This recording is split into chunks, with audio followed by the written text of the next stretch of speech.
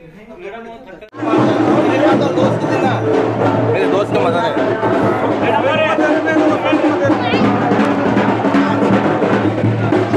दस तारीख को दस तारीख की ट्रेन है अंदर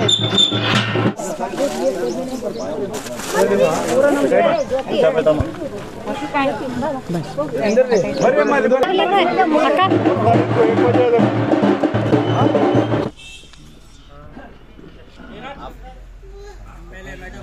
ಅಕ್ಕರೆ ಇಲ್ಲಿ ನೋಡ್ರಿ ಸನ್ಮಾನ್ಯ ಅಮ್ಮ ಇಲ್ಲಿ ನೋಡ್ರಿ ಅಮ್ಮ ಈ ಕಡೆ ನೋಡ್ರಿ सबको नमस्ते अस्सलाम वालेकुम आज हम लोग यहाँ पर न्यू राघवेंद्र कॉलोनी में आए हैं अ, यहाँ पर कैनवेसिंग करने के लिए क्योंकि अब दो दिन बचे हैं बीच में कल एक परसों एक है दस तारीख को पोलिंग है आप तमाम कांग्रेस के लिए वोट करना है आप लोगों को और अपने घर के अतराफ भी जो जो भी लोग हैं, आपके रिश्तेदार है, दोस्त है, घर के आजू बाजू, अड़ोस पड़ोस, सबको ये बोलना है कि कांग्रेस पार्टी आने से ही हमारी इज़्ज़त है यहाँ।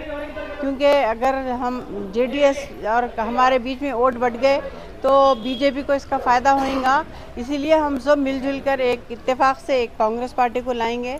तो इन ताला कांग्रेस की गवर्नमेंट भी बनेंगे और हमारे तमाम जो भी काम बचे हुए हैं, काम होंगे आप लोग पूरे मुतहद रहकर, एक, एकजुट रहकर आप 10 तारीख को कांग्रेस पार्टी को वोट दीजिए थैंक यू ಒಂದು ವಲಯ ಮತಕ್ಷೇತ್ರದ ಕಾಂಗ್ರೆಸ್ ಪಕ್ಷದ ಅಭ್ಯರ್ಥಿನಿಯಾದಂಥ ಸನ್ಮಾನ್ಯ ಶ್ರೀ ಖನೀಶ್ ಫಾತಿಮಾ ಅವರು ಚುನಾವಣಾ ತಮ್ಮ ಪ್ರಚಾರಕ್ಕಾಗಿ ಮತವನ್ನು ಯಾಚಿಸುವುದಕ್ಕಾಗಿ ಈ ಒಂದು ಉತ್ತರ ಮತಕ್ಷೇತ್ರದ ಈ ಚೌಗಲೆ ಸನ್ಮಾನ್ಯ ಶ್ರೀ ಚೌಗಲೆ ಅವರ ಕಾಂಗ್ರೆಸ್ದ ಧೀಮಂತ ನಾಯಕರು ಅವರ ಸ್ವಗೃಹದಲ್ಲಿ ಮತ್ತು ಸುತ್ತಲಿನ ಕಾರ್ಯಕರ್ತರು ಈ ಒಂದು ಸಭೆಯಲ್ಲಿ ನಾಳೆ ಎರಡು ದಿನಗಳ ನಂತರ ಹತ್ತನೇ ತಾರೀಕು ಮೇನಲ್ಲಿ ನಾವೇನು ಚು ವೋಟ್ ಹಾಕ್ತೀವಿ. ಇದು ಎರಡೇ ದಿನ ಉಳಿದದ ಈಗ. ಇವತ್ತು ಏಳು ತಾರೀಕ, ಆ ಕಡೆ ಹತ್ತು ತಾರೀಕು. ಹೀಗಾಗಿ ಚೌಗಲಿಯವರ ಮನೆಗೆ ಯಾವಾಗ ಎಲ್ಲರೂ ಬಂದು ಹೋಗ್ಯಾರ, ಅವರ ಹೆಚ್ಚಿನ ಹೆಚ್ಚಿನ ಸಂಖ್ಯೆಯಲ್ಲಿ ಜೈಬೇರಿ ಹೊಡೆದಿದ್ದಾರೆ. ಹೀಗಾಗಿ ಚೌಗಲಿಯವರ ಅದೃಷ್ಟದ ಈ ನಮ್ಮ ಭಾಗದಲ್ಲಿ ಈ ಒಂದು ನ್ಯೂ ರಾಘವೇಂದ್ರ ಕಾಲನಿ ಮತ್ತು ಈ ಭಾಗದಲ್ಲಿದ್ದಂಥ ಎಲ್ಲ ಬುದ್ಧಿವಂತ ಮತದಾರರು ಯಾವುದೇ ಒಂದು ಉತ್ತರ ಮತಕ್ಷೇತ್ರದಲ್ಲಿ ಸನ್ಮಾನ್ಯ ಕಮರುಲ್ಲಾ ಇಸ್ಲಾಂ ಅವರು ಈ ಒಂದು ನಗರಕ್ಕೆ ಅತ್ಯಂತ ಸೌಲಭ್ಯವನ್ನು ಕೊಟ್ಟಿದ್ದಾರೆ. ಉತ್ತರ ಮತಕ್ಷೇತ್ರದಲ್ಲಿ ಸೌಲಭ್ಯ? ಚೋಗಲೆ ಅವರ ಮುಖಾಂತರ. ಅರ್ಜುನ್ ಚೋಗಲೆ ಅಂದರೆ ಎಲ್ಲ ಕಡೆ ಹೆಸರದ ಅಂಥವರ ಒಂದು ಕಾರ್ಯಕರ್ತರು. ದಿನ ಇಪ್ಪತ್ತು ವರ್ಷ ದಿವಂಗತ ಕಮರುಲ್ ಇಸ್ಲಾಂ ಅವರ ಅವರ ಮನೆಯಲ್ಲಿ ಕೆಲಸ ಮಾಡಿ ಈ ನಗರದಲ್ಲಿ ಬರ್ತಕ್ಕಂಥ ಸಮಲಿ ಒಂದು ಮತ ಬಿದ್ದರು ನೂರು ಮತ ಬಿದ್ದಂಗದ. ಅಂತಹ ಒಂದು ಪ್ರದೇಶದಲ್ಲಿ ಇವತ್ತು ಸನ್ಮಾನ್ಯ ಶ್ರೀ ಖನೀಶ್ ಫಾತಿಮಾ ಅವರು ಬಂದಿದ್ದು ಬಹಳ ಸಂತೋಷ.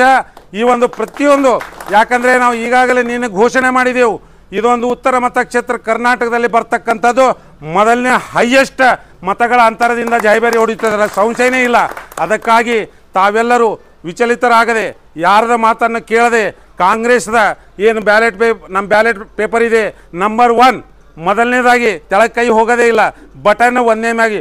ಒತ್ತಿದ್ರೆ ಅಂದ್ರೆ ಅದು ಖನೀಜ್ ಫಾತಿಮಾ ಅವರಿಗೆ ಕಲೆಕ್ಟ್ ಆಗ್ಬೇಕು.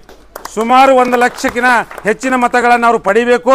ಮತ್ತು ಅತ್ಯಂತ ಅಂತರದಲ್ಲಿ ಗೆದಿಬೇಕಂತಕ್ಕಂಥ ಮಾತನ್ನು ಹೇಳಿ, ಈಗ ಸನ್ಮಾನ್ಯ ಶ್ರೀ ರಮೇಶ್ ಕಮಾಕ್ನೂರವರು ಕೂಡ ಈ ಒಂದು ಭಾಗದಲ್ಲಿ ಅವರು ನೋಡಲಿಂಗ್ ಮಾಡ್ತಾ ಇದ್ದಾರೆ.